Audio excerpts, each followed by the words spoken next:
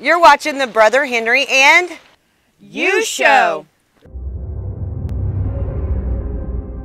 Engaging. Informative. Inspirational.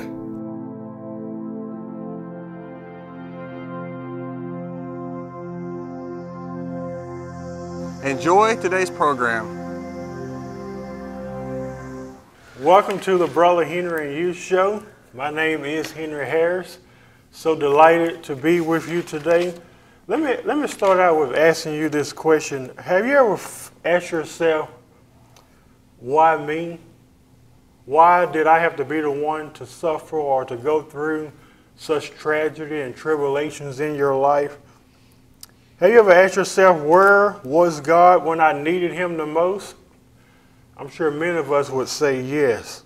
Why does it seem like God is so far off? Why does it seem like God is distant? If you've ever felt this way, this interview is for you today. And today I'm joined here with my dear friend, Pastor Rick Thomas. He's the senior pastor of Zena Baptist Church here in Zena, Oklahoma. We actually have an audience here tonight, and I appreciate you guys for coming, being in attendance. Pastor Rick, thank you for the opportunity to be You're here. very welcome. Um, you know, a lot of people are hurting uh, in various ways and different ways. And I think the first question I would like to ask you, Pastor, uh, trust is a big deal. And uh, what part does trust play in the lives of those who may be hurting?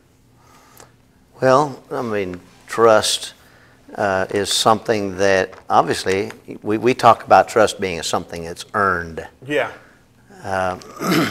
And I guess to say in the simplest form, there is an aspect of that between us and God that it Yeah. is earned because we we begin to trust him at the point of salvation or even even just before that when we begin to should I do this and can I do this and but then God responds in a way that draws us closer to him and we begin to trust him more and more and then we go through difficult times and and we begin to trust him more and the more difficult times we go through as we lean upon Him, the stronger that trust gets uh, becomes. And so I think there is a, a strong aspect of that. I recently heard a, a testimony, or not a testimony, but a quote from someone, and I can't remember who it is. It's not original with me, but when we make a when we make a commitment to somebody, then we actually are creating trust. And when we make that commitment and that we begin to trust, then we are creating hope in Yeah. that person. So, you know, I- that was made for relationships of husbands and wives and Yeah. friendships, but the same is true with God. Yeah. He committed to us first long before we ever committed to Him. Amen. And that trust is there if we'll hang on to it. it's amazing. Even when we don't see that trust, and you know, I believe trust also grows. You know, you speak in terms of relationships. I think because if you're with your spouse, uh, you trust them, but also trust can be progressive as well. That um, the more you know, you, you know about your spouse, the more you grow in the area of trust. I often think about trust as well is that let's just use this for example. When many of you came here tonight, I didn't see any of you um, get on your knees and check the legs of the benches to see if it's going to hold you up. Well, why didn't they do that? Well, the reason why you didn't do that because you had trust that when you sat down, that it will hold you up. And I believe that when we're hurting and we're going through certain things in our life, we have to have that same type of trust that, uh, regardless of what it looks like or what it may appear to look like, you know, I trust God. Um, you know, you're talking about uh, things that people go through. Uh, one of my favorite scriptures is Psalms chapter 13, uh, verse 1 and 2. Uh, David says, How long, Lord, will you forget me forever? How many here have prayed that prayer before? I know I have. How long will you hide your face from me? Verse 2 says, How long must I wrestle with my thoughts? Um, and day after day have sorrow in my heart. How long will my enemy triumph over me. And I believe uh, I've been there a time or two where we've all asked that question, Pastor, um, how long? Um, can hurt create a sense of this disconnection? Because I believe that's what David had here. Yeah, it, it certainly can. Uh, when we're hurting, um, whatever that pain is, okay, it's as simple as there's a fire and I got my fingers too close to it and I Yeah. remo- remove it from the pain. We begin to learn these things as little children. We withdraw from pain. Mm-hmm. And so a little child that's in the daycare, he's picking on me all the time, so I want to stay away from him so he doesn't pick on me. And all of our life, we begin to develop that same mentality that I withdraw from what hurts me. And so whenever I go into a, time in my life where I'm hurting like more than I've ever hurt before, whatever that may be, uh, a young Christian may wonder, well, why do I feel like I'm all alone? Because Yeah. I thought that once I became a Christian, God was going to answer all my questions and my fears, and it would all be, uh, excuse the hokey uh, hillbilly language, but hunky dory. Yeah. And but it, that's not the way that it is. Jesus said in this life, I had trouble. You're going to have trouble. Oh, I- yeah. uh, the tribulation in this life is simply because we're in a fallen world. Mm-hmm. But none of us want to experience that trouble or that pain, so we back away from it. And so, even whenever uh, we know that God is there and we trust Him, Mm-hmm. there's still an aspect of us that as we pull away, we don't realize we're pulling away from God Mm-hmm. when we need to be running to Him and not trying to get back in trouble. But there is this part of us as human beings that we just love pity parties too. Yeah. So that's a problem in and of itself. We like to throw our pity party. So just leave me alone till Yeah. I'm done with my pity party. Then I'll come out and I'll smile again. Yeah. But that's not what God wants us to do, but that's what we too often do. Amen. I, I call it a wilderness experience where we, where we feel Yeah. like when we're hurt, or there's been times when I've been hurt, Pastor, where I felt like I was the only one that was going through that. How many of you have felt mm. that way before? Yeah. That when you're hurt and you're going through some type of trial in your life, I'm the only one that's going through. I think what you're saying is we're going to self pity mode. Woe is me. Why, Yeah. why am I the only one? But the truth is, you're not the only one going through No. it and our God is there with us all along. So, in what ways can the body of Christ bring healing to those who may be hurting? Well, I think uh, a big part of that would be just listening more so than trying to have the answer Yeah, for them. yeah. Because how many of you have been in a situation where somebody they tried to comfort you by doing all the talking? Yeah. They knew how you were feeling, and they tried to comfort you by doing all the talking when all you really wanted to do was for them to just shut up and just listen. And so I can share with them how I'm feeling.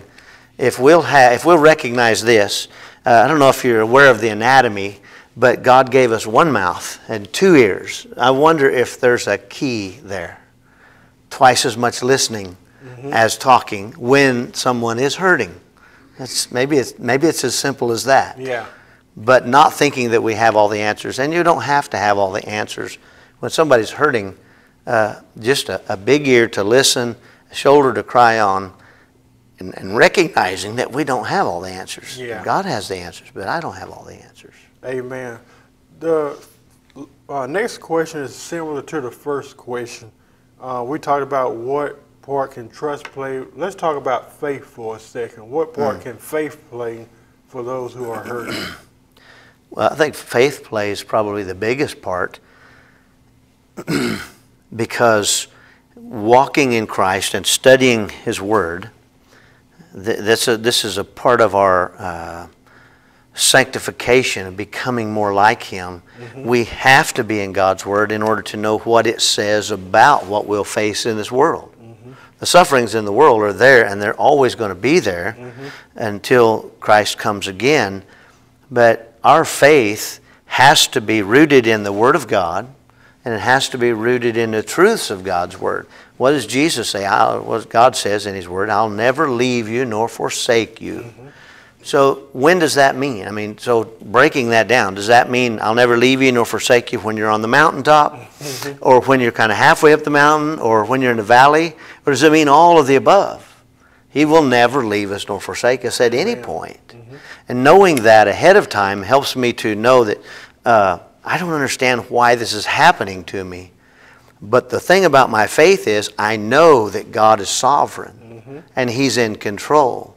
And that's the aspect of my faith that is most important when I'm going through a, a trial or tribulation or suffering is that I understand He is sovereign and I give Him the, the I give Him the freedom like I need to give Him freedom. Yeah. But in my own mind, I- okay, God, you're sovereign and you're allowing this to happen for a reason, even though I don't understand it.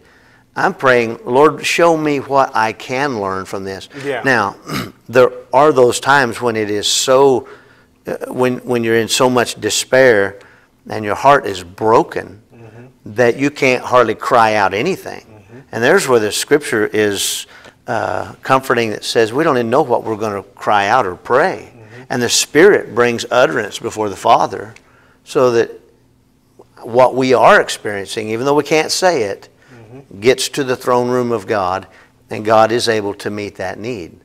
One author talked about it as being the dark night of the soul. And uh, I don't know if that was C.S. Lewis or, but it was a, a long time ago. And that dark night of the soul is whenever I seem to be all alone and God seems to be at a distance. But I don't think that I ever want to forget this. But there's been times that I've not practiced this. Yeah. And when I don't, that's when I'm in despair. God inhabits the praises of his people.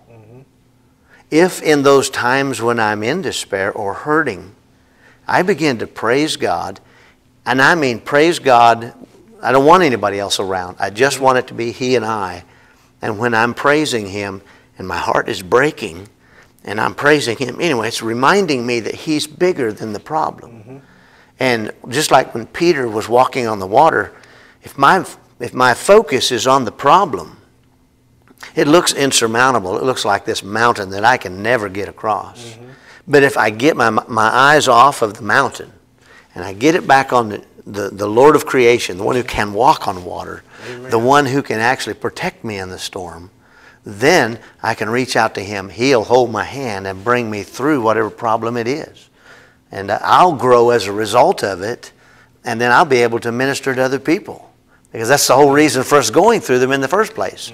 Uh, it's uh, 2 Corinthians chapter 1, verse 4 that talks about, you know, he allows us to go through these things. I'm just paraphrasing. But that's so that when we get through them, he can use us to minister to somebody else.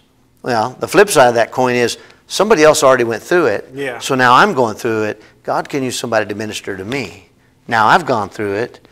He can use me to minister to somebody else. And you've gone through it, and I've helped you, and now He'll use you to minister to somebody else. And all the way from uh, the time of Jesus' death and resurrection, that's the way it's been. Because of the indwelling Spirit, we have the power to minister and, and meet the needs of somebody, not because of our ability, but because of His indwelling presence. Wow, that's amazing. That's powerful. Uh, I think it's very important to be to be able to relate to all those who may be hurting. How important do you think it is uh, for believers to be able to relate to all those who may be hurting? Is is our last question. Well, I think it's important to relate to them, but I think it's also important not to exaggerate. Yeah. I know how you're feeling, Henry. Yeah. Okay. Really? When did you lose Do all, you really th- all three of your family members in a car wreck? Yeah. Well, I'd never had that happen before. But, you know, I have a friend who she lost her husband and two children in the same car wreck, and she survived. How do you deal with that kind of loss? Well, she was a good Christian lady, and, and uh, yeah, she wrestled with that for a while. And then God began to use her on a speaking circuit to where she was speaking to others who've lost loved ones. And God helped her to relate to them, whereas I couldn't have related to them. I've, uh, you know, I've, uh, I've never lost uh, a loved one that's close within my family other than uncles and aunts and grandparents. So I don't know how to relate to that. Yeah. But some of you've related, you can relate to some of those things. And I believe that God in His sovereignty works it out to where if, if Frank has this issue he's going through, then Susie God pairs them up in some way. And if Susie's sensitive to the Holy Spirit, she can minister to Frank, whereas you or I could never minister to Frank. And that's just the sovereignty of God, and God is in the business of doing that. In fact, it's just miraculous the way He does that sometimes. That That's goes. amazing. I appreciate you. Yeah. Uh, that was an awesome interview. Hi, my name's Heather. Thank you for watching the Brother Henry and You show today. If you've enjoyed the show today, visit us at facebook.com backslash the Brother Henry and You show. Thank you for watching and have a blessed day.